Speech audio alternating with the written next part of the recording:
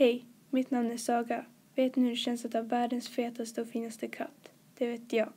Vi fick Atlas i somras. Jag minns första gången han skulle få gå ut i selen. Han kunde knappt gå. Han bara ramlade så fort han försökte gå. Och nej, inte för att han var för fet, utan för att han inte var van vid sele.